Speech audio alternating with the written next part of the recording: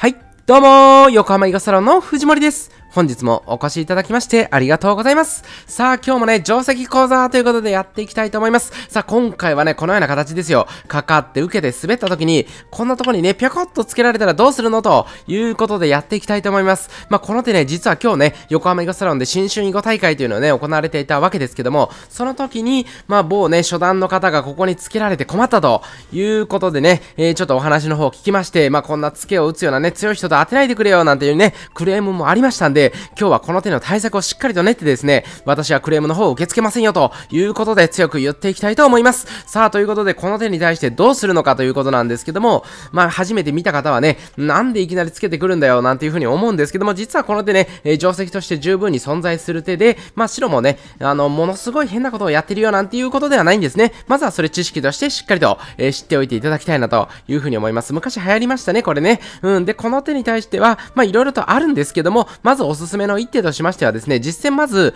これここに打ってしまったんですね。まあ相手が隅受けなかったんで隅受けようということで、とても素直なんですけども、まあこの手はですね、一般的には上跳ねられてしまいまして、まあこんな風に打てばですね、えー、もちろん生きることはできるんですけども、まあこんな風に来られてですね、まあやや白がいいかなという展開になるわけですね。まあ隅は取っているものの、まあ結構2戦に石が並んでしまいましたね。ちょっとこう隅の取り方の字がね、えー、小さめということで、まあこの図は基本的には白が満足ということになります。はい、ということことで、じゃあどうするかというとこなんですけども、まあいろいろな型があるんですけども、今日は基本となる方、しっかりと覚えていただきたいと思います。えー、これにはやっぱ付けられた。付けられたらどうしますか？困った時は付けには跳ねを。これ、いい格言がありますね。えー、ここにやっぱり跳ねてみたいということになります。そして跳ねられたら、まあ白としても引くぐらいになるわけですけども、継いだり押したりと、これどちらもあるんですけども、まあまずは基本形ということでね、押す手をね、おすすめしていきたいと思います。さあ、これに対して白は跳ねてきますね。で、これはまあちょっとね、あの、一回我慢しておきましょう。しっかり連絡をしておきまして、で、次2目の頭を跳ねられてしまうと白はね、非常に辛い形になりますから、ここはまあ飛ぶのが形になりますね。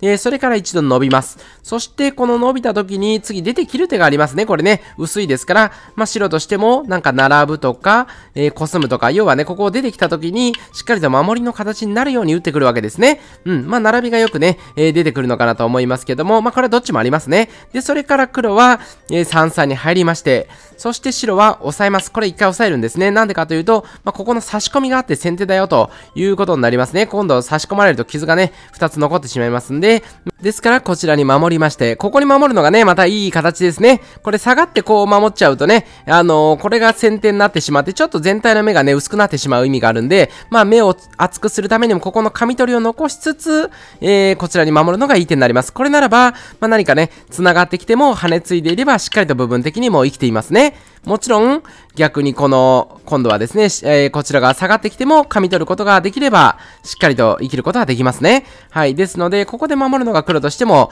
なかなかね、洒落た形ということになりまして、で、最後にここのね、石がまだ弱いですから、2軒に開いてということになりますね。はい。ここで定石終了ということになります。はい。この後ですね、まあ、基本的にはここね、結構気にする方多いんですけども、まあ、そんなすぐ守らないで、まあ、また大場に展開していくという形でいいかなというところになりますね。はい。というのも、まあ、何かね、えー、切られる手はもちろんちょっと心配なんですけども、さっき言ったように隅はもうしっかりと生きてますから、まあ、例えばですね、こんな風に出ていってですね、えー、まあ、片付きぐらいを決めて、まあ、一緒になってこう逃げていけばですね、えー、決してなんだろう、自分だけが弱いわけじゃないですね。白さも弱いですから、例えばこんな風に逃げてくれば、まあ、飛んだりとか、まあ、桂馬したりとかしてですね、まあ、隅が生きてるっていうのがやっぱ強いですね。切られても、あとはこっち逃げるだけで、意外とすぐにね、えー、生きる形作ることできますし、まあ、当然白もまだだこの石がね、ちょっと薄かったりもしますので、まあ、十分に戦うことができるよということで、まあ、駆け継ぐ手がね、あとちょっと辛いのは、ここが結構硬いんで、まあ、あんまり響かない、相手に響かないんで、